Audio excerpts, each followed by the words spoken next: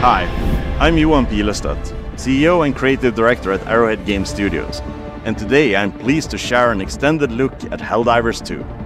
We're starting on the ship's bridge, preparing to select our mission from the Galactic War Map.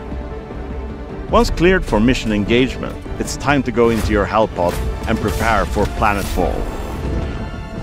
Today we join a squad on one of the many planets in the galaxy, set on an important mission to eliminate a deadly bile titan.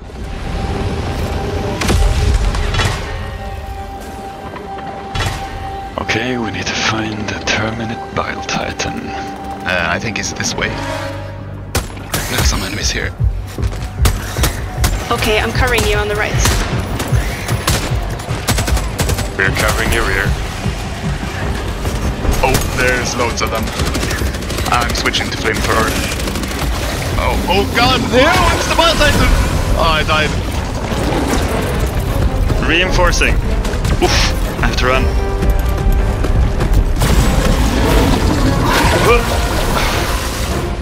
Alright, I'm back.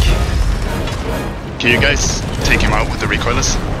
Yeah, I'll try to take him down from the side. Reload my uh, recoilless. On it.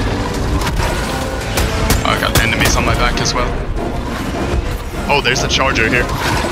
I'm gonna take out the brood commander. He's, he's charging me. We take out the charger with the recoilless. Alright. Reload me. Nice. I'm gonna thin out the crowd a little bit. There are a lot of them coming. My guard dog is taking care of the little ones. Oh, oh! I'm throwing out the strafing run to try to take out the small guys. Ah! Oh no, you killed me! Oh.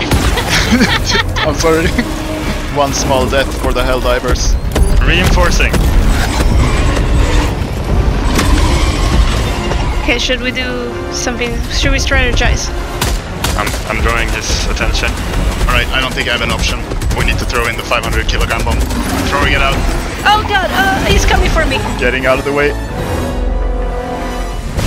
There Okay, there we we go. Good job, guys. Well done, Helldivers. Another win for Super Earth. After each successful mission, players are rewarded for their efforts, allowing them to upgrade their ship, weapons, armor, and stratagems, giving them the edge in the many battles to come.